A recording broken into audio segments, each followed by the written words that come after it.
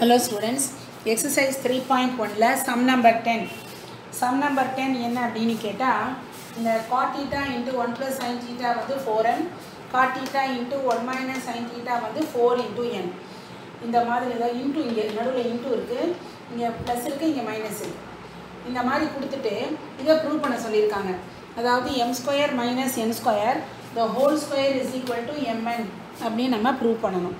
இப்போ நம்ம எல்ஹெச்எஸ் எடுத்துக்கலாம். இடது பக்கம் எடுத்துக்கிட்டிங்கன்னா m square minus n square b square உள்ளே இருக்கிறது எப்படி இருக்குது a square minus b square மாதிரி இருக்குது அப்போ a plus b into a minus b அப்போது m plus n into m minus n வெளியில் ஸ்கொயர் இருக்குது இங்கே நடுவில் என்ன இருக்குது இன்ட்டு அப்போ இன்ட்டு இருக்கிறனால இந்த எம் ப்ளஸ் என்னுக்கும் ஸ்கொயர் வரும். இன்ட்டு எம் மைனஸ் என்னுக்கும் ஸ்கொயர் வரும். ஓகே இப்போ நம்ம என்ன செய்யணும்னு கேட்டால் எம் இதிலேருந்து எம் கண்டுபிடிக்கணும். இதிலேருந்து என் கண்டுபிடிச்சு ரெண்டையும் கூட்டினா என்ன வருது? ரெண்டையும் கழிச்சா என்ன வருதுன்னு பார்க்கணும். அதை நான் சைடில் செஞ்சுருக்கேன் பாரு. ஃபஸ்ட்டு எம் இந்த மொத்தமாக இது ஈக்குவல் டு ஃபோரம் தானே? அப்போ எனக்கு எம் வேணும்னா இந்த ஃபோரை ஈக்குவல்ட்டுக்கு இந்த பக்கம் இறக்கணும். இது மேலே இருக்கிற நாலு ஈக்குவல் இங்கிட்டு வந்தால் பை ஆயிரும். அப்போ முன்னாடி ஒன் பை ஃபோர் வந்துடும் அதைத்தான் இப்போ என்ன எப்படி எழுதியிருக்கேன்னா m is equal to one by four into cot theta into one plus sine theta இதுவும் அதே போல தான் அப்போ n is equal to one by four cot theta into one minus sine theta so இப்போ நமக்கு எம்மும் தெரியும் எண்ணும் தெரியும். கரெக்டாக இப்போ ரெண்டையும் நம்ம கூட்டலாம். இந்த ரெண்டையும் ஆட் பண்ணும்போது இதில் இது வந்து காமனாக இருக்குது இப்போ நம்ம சாதாரணமாக நீங்கள் சின்ன கிளாஸ்லாம் செய்யும்போது five x plus two x அப்படின்னு கேட்டால் என்ன செய்வீங்க? ஃபைவோட ரெண்டு ஆட் பண்ணி செவன் போட்டு எக்ஸ் அப்படியே போட்டுக்குவேன் அதே மாதிரி seven x minus three x அப்படின்னு கேட்டால் செவனில் த்ரீயை செப்பரேட் பண்ணால் ஃபோர் ஃபோர் போட்டு ஃபோர் எக்ஸ்னு போடுவேன். இங்கேயும் அதே தான் இங்கே என்ன பண்ணுறோம் அப்படின்னு கேட்டால் இந்த ரெண்டையும் நம்ம ஆட் பண்ணும்போது இந்த ரெண்டுலேயுமே எது பொதுவாக இருக்குது இந்த ஒன் பை ஃபோர் காட்டிட்டாங்கிறது எக்ஸ் மாதிரி. அதே மாதிரி இதுலேயும் அதே one by four x cot theta sorry one by four cot theta இது ஒன் பை ஃபோர் காட்டிட்டா ரெண்டுமே ரெண்டுலேயுமே இருக்குது எக்ஸ் மாதிரி.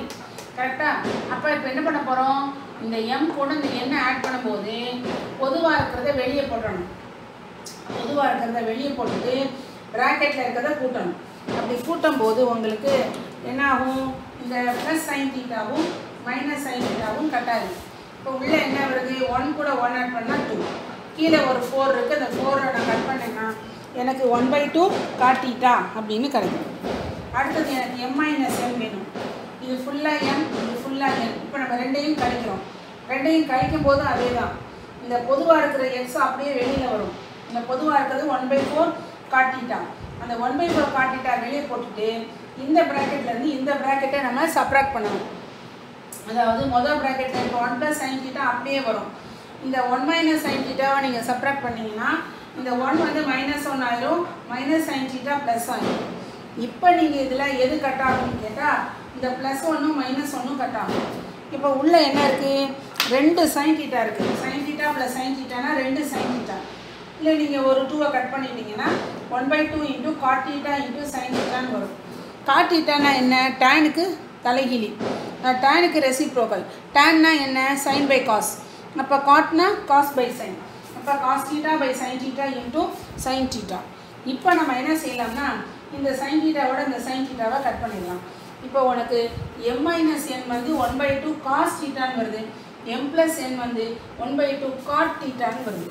சரி இப்போ நம்ம என்ன செய்யணும்னா இந்த இடத்த நம்ம சப்ஸ்டியூட் பண்ணணும். ஆக்சுவலாக எம் ப்ளஸ் எனக்கு ஸ்கொயர் வருது. அப்போ இந்த ஒன் பை டூவையும் ஸ்கொயர் பண்ணணும் காட் தீட்டாவையும் ஸ்கொயர் பண்ணிக்கணும். அதே மாதிரி இங்கே ஒன் பை டூவையும் ஸ்கொயர் பண்ணணும் காஸ் ஸ்கொயர் பண்ணிக்கணும். இந்த ஃபோர் ஃபோர் ரெண்டு பேருக்குனா சிக்ஸ்டீன் அடுத்து காட் ஸ்கொயர்கிட்ட எழுதிக்கணும். நம்ம நமக்கு இங்கே என்ன காட்ட போகிறோம்னா எம் இன்ட்டு என்ன சொல்லணும். எம்முக்குள்ளே ஒன் ப்ளஸ் சைன் வருது எண்ணுக்குள்ளே ஒன் மைனஸ் சைன் வருது.